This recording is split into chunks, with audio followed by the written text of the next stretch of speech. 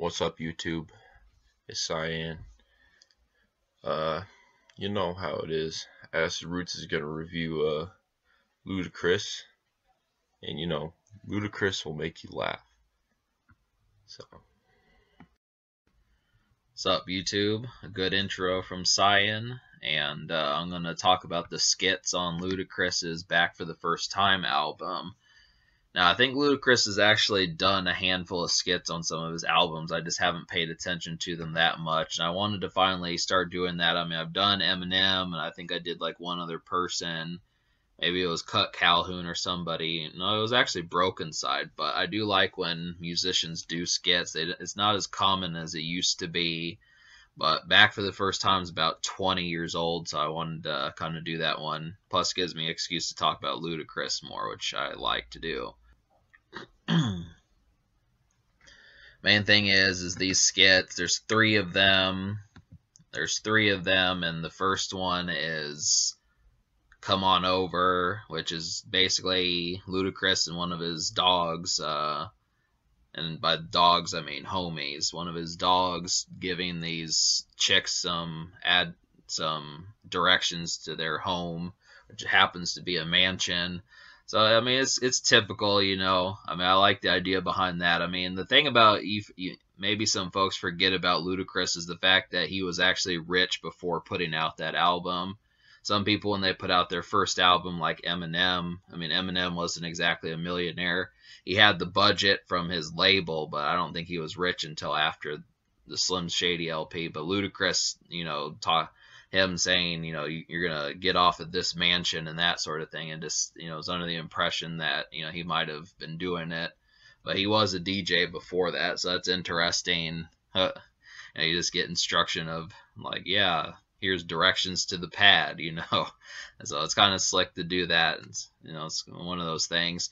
The next one is the Ho skit, which is the interlude or the prelude to uh, the Ho song, which was actually, you know, that's a decently popular song even now by Ludacris, but it it basically just has what some stuff that's on Ludacris's answering machine.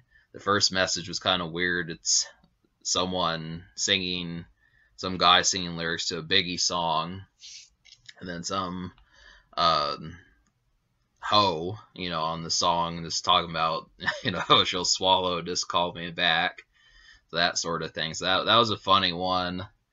And uh, then there's a ticket sold out, which is the only real skit out of the three that I didn't enjoy that much. I think it was just kind of promotion for that sort of thing. It's like Ludacris, you know, he's on a PlayStation game. His shows are sold out. He, you know, he's put out some songs like Phat Rabbit.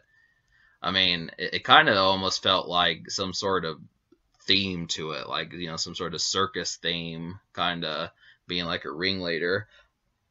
I mean, I don't know how, how I got that too much from that vibe, but I just would have to say, I don't know, it, it, it just felt kind of extraneous and kind of compromised, but it, it's, it's an okay skit. It just isn't a standout. So, but yeah, two of them were funny. I mean, they worked.